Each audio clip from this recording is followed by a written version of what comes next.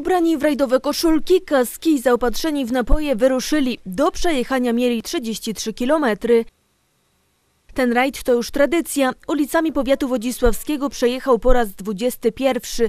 Jego trasa co roku jest inna. Każdego roku staramy dobierać, e, dobierać e, inne trasy pokazujące te, te najlepsze, najładniejsze miejsca naszego powiatu. Jest to zarazem też e, promocja tych ładnych e, miejsc, które na terenie powiatu są.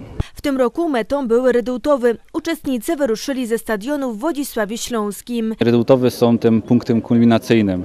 Ta, przejedziemy przez cały Redutowy i właśnie w Redutowach na stadionie w ramach Dni Redutów, tej części sportowej Dni Redutów będziemy mogli i posłuchać nasze gwiazdy i spędzić wspólnie mile czas. Cieszymy się, bo chyba nigdy taka grupa przez Redutowy nie przejeżdżała, więc tym bardziej jest to dla nas ważne. Jeżdżą sami albo całymi rodzinami. Ci bardziej zaprawieni w bojach do uczestniczenia w rajdzie zachęcają kolejnych. Kolejna, ja jestem na wielu rajdach. Już któryś z rzędu I, i teraz już z wnukami jeździmy. My w ogóle jeździmy bardzo dużo na rowerach i takie rajdy rodzinne, y, gdzie możemy z wnukami jechać są dla nas bardzo ważne.